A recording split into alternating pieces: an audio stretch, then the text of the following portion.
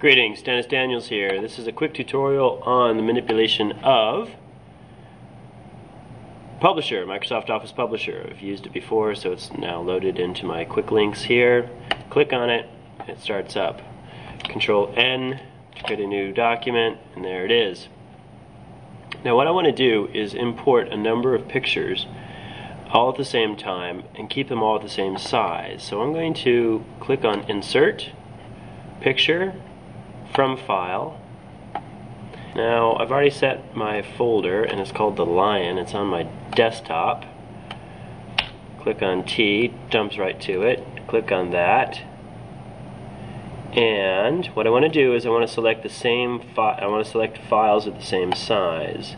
So I go to Details and I slide this over, date pictures taken, let's see, dimensions, there they are, my dimensions. I want to get pictures of all the same dimensions. So I click on, hmm, that's unfortunate. Unfortunate. Let's move that over. I can click and drag those dimensions right over, do that again. And so there are my dimensions, again sort, and I want this one, and these. Actually I can't I can't import them all at the same time so I'm going to cancel that and I'm just going to copy paste it straight from the desktop. Start D go to the desktop. There's my folder sort dimensions there they are. Again click. Let's move that over so I can see it a little easier. Okay click click click. There they are. Now control C or right click copy. I use the keyboard because uh, it's faster. Control C, Alt Tab.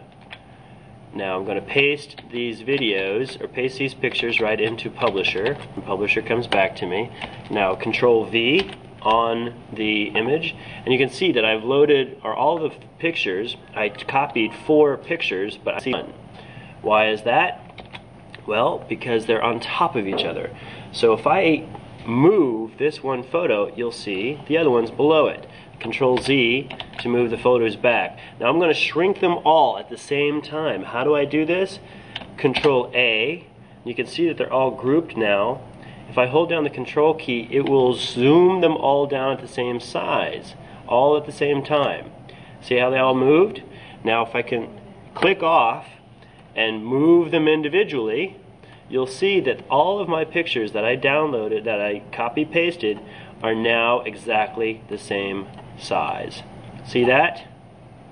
That is pretty darn cool. So, I encourage you to uh, take a look at this yourself. Go ahead and let's zoom, take a look at what it looks like. View, zoom. Let's do 200%. You can see my pictures, pictures students have done, pictures I have done. Can you guess which one I did?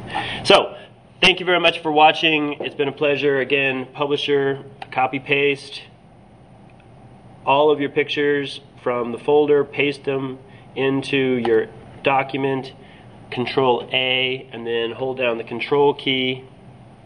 Actually, I'll go ahead and do this again. Control A, I'll show you in real time. Control C, look at that. Huh? Now if I hold down the Shift key, they'll all move.